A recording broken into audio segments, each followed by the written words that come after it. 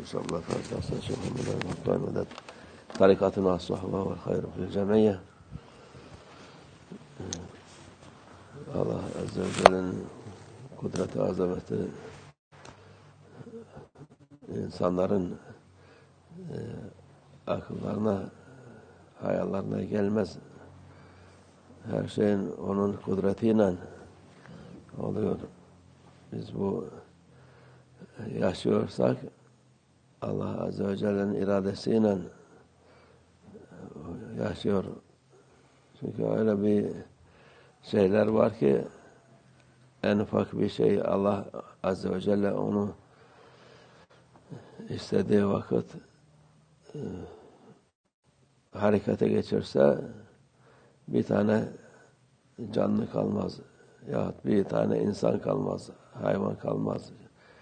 E, onun e, kudreti, azameti işte bu bütün bu şeylerin içinde yaşayıp da ecel gelince o vakte kadar e, gitmesi insanın bunları insanlar biz şöyle yapıyoruz, böyle yapıyoruz, bu ilacı bulduk, şu ilacı bulduk diye e, iftihar ederler. O da Allah Azze ve Celle'nin iradesiyle oluyor. İlaç onun şey olmasa Allah Azze ve Celle'nin iradesi olmasa fayda vermez. Boş boşuna e, almış olur. Onun e, etkisi Allah Azze ve Celle'nin iradesiyle oluyor. Onun için bunları bilmek lazım. Nasıl bir vakit derler kafir de alıyor, iyileşiyor, şey yapıyor.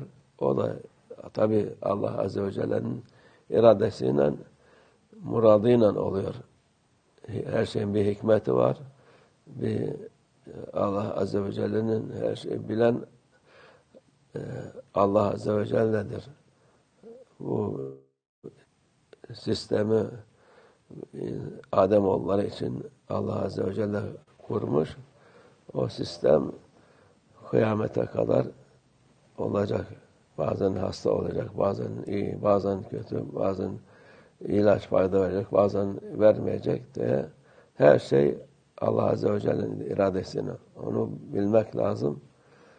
Ee, onu e, mümin olan, Müslüman olan ilaç aldığımda iyileştim e, demesin. Allah Azze ve Celle murat etti bu ilaca hikmetiyle bize şifa koydu. O ilacı alıp iyileşiyoruz. İlacın kendisinin değil de Allah Azze ve Celle'nin iradesiyle. Onun için e, bu hastalıktı, şuydu buydu, onlar Allah Azze ve Celle'nin insanlara e, ecelde yazdığı şeylerdir. Onlar olacak. Şimdi ya, o vakit e, doktora gitmeyelim, ilaç almayalım mı diyor. Yok o da alacaksın ama Allah Azze ve Celle'nin e, tarafından şifa olduğunu bileceksin. Yoksa kafir de alıyor ilacı. Bazen iyileşiyor, ile iyileşmiyor da. E, bazı şeyler var mecbur olma, alınması lazım. Onları da e, alması insan için o e, yapması lazım olan şeylerdir. Hele bazı şeyler var o onu almasa kendine de zarar verir, başkasına zarar verir. Onun için onu e, bilmesi lazım.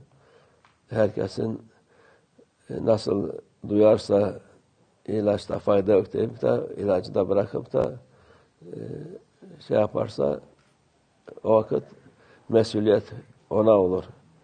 Tamam ilaç besmeleyi çekip de şifa olsun diye Bunda şifa yok. Allah'ın kudretiyle bu şeyde şifa olsun diye niyet edip onu alınca e, hem e, Allah Azze ve Celle unutmamış olur, aklından çıkarmamış olur.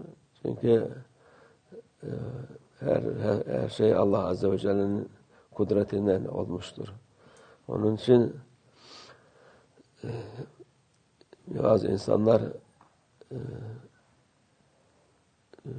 şey e, tevekkül diye şey yapıyor. Tevekkül edip de başkalarına zarar vermek e, olmaz.